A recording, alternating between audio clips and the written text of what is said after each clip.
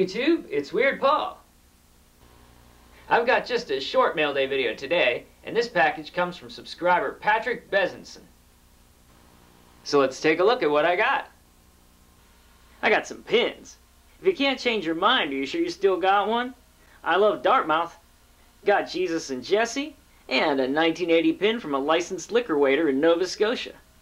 And lastly, bingo players know their numbers. One, two, three, four.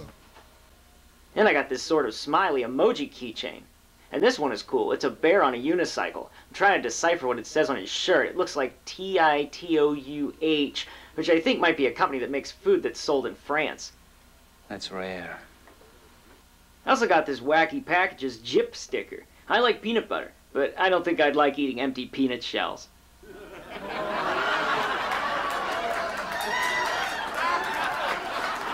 This is cool. It's an 8x10 print from Tyrannosaurus Press. It's supposed to be Marc Bolan.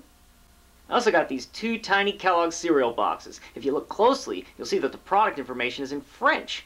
What a meal. Cereal is universal. Damn! And I got a little Scott Squibbles, a Shopkin, this cute little fire engine. I can't believe I just said a fire engine was cute. Huh? I guess I can. And look, a little car. The designs on it are a sneaker and some skulls. That is wow. And I got one other thing. The 1983 Return of the Jedi book, The Ewoks Join the Fight. Princess Leia's in a whole lot of peril here. She's either got a gun at her back, or a strange little furry creature with big brown eyes pointing a spear at her.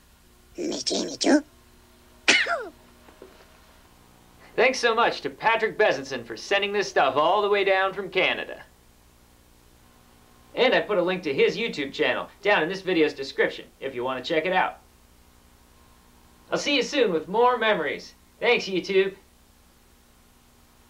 That fire engine is cute.